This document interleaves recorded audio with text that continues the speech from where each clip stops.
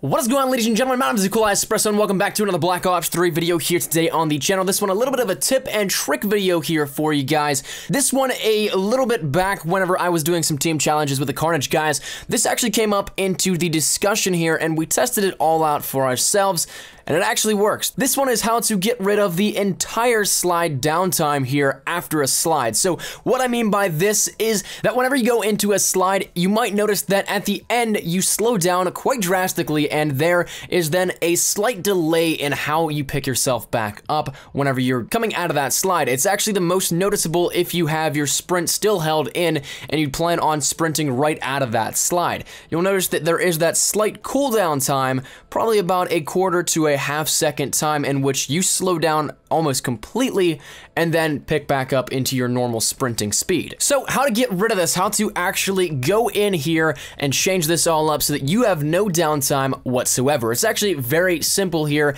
You're only gonna be doing one simple thing to add onto this slide here. So you started off initiating it with, of course, just a normal slide, and then instead of just holding it and letting it go out in its duration, what you want to do is right when you're at the end of the slide, you'll probably be able to feel it or you'll be able to judge it. It just has to be in that last duration portion of this. What you want to do is YY if you're on Xbox or triangle triangle if you're on PlayStation. So this will then effectively cancel that downtime because it is making another action that your character is doing rather than slowing down here. And you can see playing these back and forth that there's quite a difference in change here, being about two tenths of a second here in total that it shaves off the time. So if you're trying to get out of the way of a gunfight or something like that, duck into cover, or maybe just get around the map a little bit faster, this is a tremendous asset to do.